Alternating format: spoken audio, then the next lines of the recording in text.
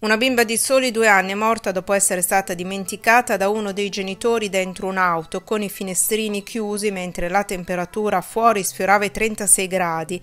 È successo in Minnesota, negli USA. La bambina è stata trovata senza conoscenza dentro il veicolo posteggiato davanti a un'abitazione.